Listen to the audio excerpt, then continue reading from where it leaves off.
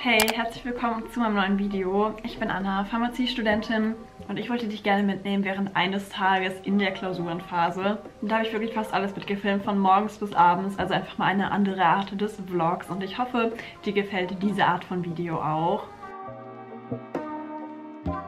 Mein Wecker hat so um 7.15 Uhr geklingelt und ich lade mein Handy auch nicht direkt neben dem Bett. Das heißt, ich muss sowieso mal aufstehen, um meinen Wecker auszuschalten. Dann habe ich erstmal ein bisschen Licht ins Schlafzimmer gelassen und habe mich trotzdem wieder ins Bett gelegt. Aber nur so für fünf Minuten oder so. Es sieht jetzt viel, viel länger aus. Ich weiß auch nicht, habe ich irgendwie aus tausend verschiedenen Perspektiven gefilmt, wie ich am Handy bin. Aber nein, normalerweise bin ich nur so fünf Minuten am Handy und check so das Wichtigste mal kurz ab.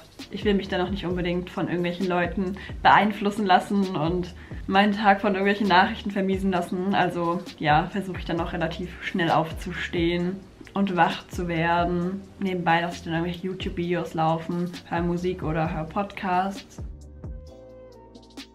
Und dann wollte ich mir eine Kleidung für den Tag raussuchen, mussten aber erstmal das Wetter abchecken, um so einen Plan zu haben, was ich anziehen soll. Und als ich das Video gefilmt habe, war es noch ein bisschen wärmer und sonniger. Das heißt, man konnte auch gut T-Shirt rausgehen. Ich habe mir ein bequemes Outfit rausgesucht, habe dann aber auch erstmal ein bisschen frische Luft in unsere Wohnung gelassen. Lüften ist wirklich wichtig. Und nach dem Anziehen bin ich dann ins Bad und habe mich da so ein bisschen fertig gemacht.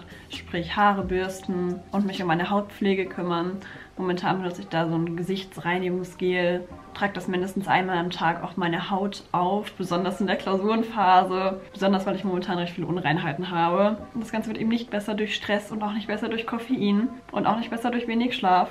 Also versuche ich dann noch was mit meiner Gesichtspflege rauszuholen, aber naja, keine Ahnung. Was ich aber auf jeden Fall immer empfehlen kann, ist es, Sonnenschutz aufzutragen. Den benutze ich auch im Winter. Im Sommer dauert das Auftragen dann noch ein bisschen länger, wenn man noch die Arme und so weiter eincremen muss. Aber ich will ja mein Bestmögliches geben, um Hautkrebs vorzubeugen. Anschließend habe ich meine Haare noch so ein bisschen aus dem Weg gepackt mit Hilfe einer Haarspange und habe dann meine Tasche gepackt, denn an dem Tag ging es für mich in die Bib zum Lernen.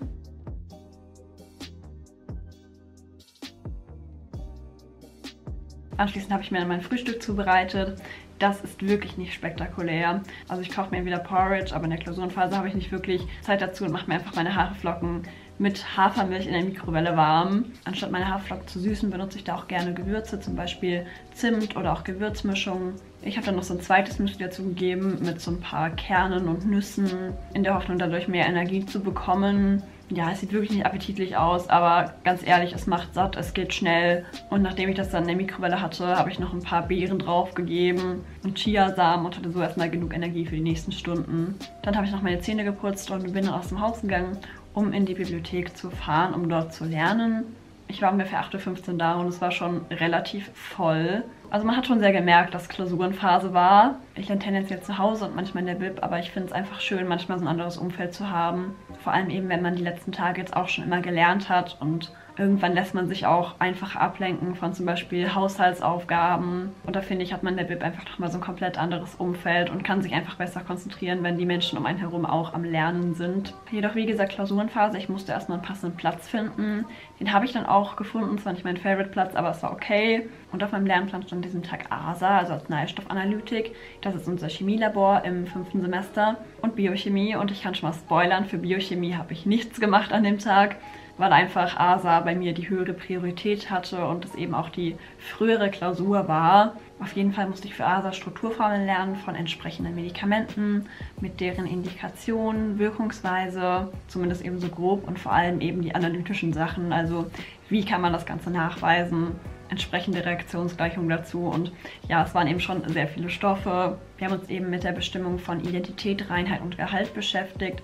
Und an diesem Tag habe ich eben die Gehaltsbestimmung wiederholt und mir ein paar neue Karteikarten erarbeitet. Ich lerne meine Karteikarten über Anki. Das ist so eine digitale Karteikarten-App, die wahrscheinlich auch die meisten kennen werden. Ich erwähne es trotzdem einfach gerne nochmal, weil ich es wirklich ein cooles Konzept finde und ich dadurch einfach viel Wissen in kurzer Zeit in meinen Kopf bekomme. Die Karteikarten hatte ich dann auf meinem Laptop und ich habe eben Notizen gemacht auf meinem iPad Manchmal habe ich das auch auf einem Zettel gemacht, das geht eigentlich genauso gut. Aber ich muss ehrlich sagen, an dem Tag hat sich das Lernen so lange hingezogen und ich hatte nach zwei, drei Stunden immer noch das Gefühl, dass ich nichts gemacht habe und dass ich noch nichts Neues gelernt habe. Deswegen habe ich mir dann ein paar Altklausuraufgaben angeschaut, zur Abwechslung mal weil man dann sein Wissen ein bisschen mehr anwenden kann. Nach einiger Zeit bin ich aber wieder dazu übergegangen, meine Karteikarten für die Gehaltsbestimmung durchzugehen. Ich habe irgendwie auch vormittags gar keine Lernpause gemacht. Normalerweise mache ich so eine Frühstückspause, aber an dem Tag irgendwie nicht. Ich weiß nicht, manchmal bin ich irgendwie so dabei, dass dann meine Lernpause Altklausuren zu machen. Also so, dass ich ein bisschen Abwechslung habe. Aber nach einigen Stunden hatte ich dann endlich meinen Gehaltsbestimmungsstapel geschafft und habe mir so überlegt, was könnte ich als nächstes machen. Auf meiner Liste stand nämlich eigentlich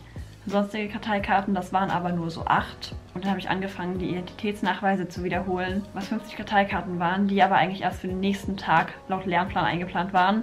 Aber ich war eigentlich schon ganz gut dabei, also habe ich mir so ein bisschen den Stress für den nächsten Tag rausgenommen, indem ich die eben schon teilweise durchgegangen bin. Aber irgendwann war dann mein iPad-Akku leer und auch mein mentaler Akku. Und ich habe mich erstmal sehr gefreut, Mittagspause machen zu können. Aber anschließend ging es dann nochmal so für zwei Stunden in die Bib. Und da habe ich mich dann erstmal zur Abschlussklausur überhaupt angemeldet. Also jetzt gab es kein Zurück mehr bin dann einfach meine Karteikarten nochmal weiter durchgegangen. Natürlich habe ich nicht alle 50 Stück geschafft, aber ich bin zumindest weitergekommen und habe auch mehr geschafft, als ich mir eigentlich vorgenommen habe. Also alles voll okay. Ich war dann so 17 Uhr zu Hause und habe mich erstmal ein bisschen ausgeruht und habe mich dann ums Abendessen gekümmert. Wobei ich erstmal einen Salat gemacht habe und dann aber irgendwie zu faul war, Nudeln oder irgendwas anderes zu kochen. Und mir das Ganze in Reispapier eingewickelt habe als Sommerrolle. War wirklich sehr lecker und ist einfach mein Go-To-Gericht im Sommer. Ich liebe es einfach. man kann doch einfach so gut variieren, worauf man halt gerade Lust hat oder was man gerade da hat. So um 19 Uhr bin ich dann in ein Museum bei uns gegangen, denn alle paar Wochen ist lange Nacht der Museen und da kommt man eben kostenlos ins Museum rein und kann eben auch an so ein paar Kreativworkshops teilnehmen. An dem Tag habe ich zum Beispiel Buttons gebastelt, war wirklich ganz cool und ist einfach eine schöne Abwechslung. Abends habe ich mich dann noch mit meinem Freund in der Stadt getroffen und wir sind noch ein bisschen spazieren gegangen und waren noch was trinken und sind dann zusammen nach Hause gelaufen und wir waren dann ungefähr so 1 Uhr im Bett und am nächsten Tag war Samstag und ich wollte ein bisschen länger schlafen. Ich kann es immer nur wieder jedem ans Herz legen. Baut euch Ausgleiche ein. Es ist so wichtig, nicht von morgens bis abends zu lernen. Man ist so viel besser und lernt so viel effektiver, wenn man sich einfach eine Deadline setzt und weiß, okay, heute Abend mache ich mal was ganz anderes. Und mir hilft dann auch wirklich, meine Freizeit mal in den Terminplan oder in die To-Do-Liste einzutragen. So allgemein betrachtet werde ich in der Work-Life-Balance von Semester zu Semester besser. Und ich muss auch ehrlich sagen, die Klausurenphase jetzt im fünften Semester war die entspannteste bis jetzt. Was eben auch an meine Ausgleichen liegt, die ich mir gesetzt habe. Zum Beispiel war ich auch abends oft im Gym oder habe ich mal mit Freunden getroffen oder mit meinem Freund was unternommen. Also ja, so oder so ähnlich sehen meine Tage in der Klausurenphase aus.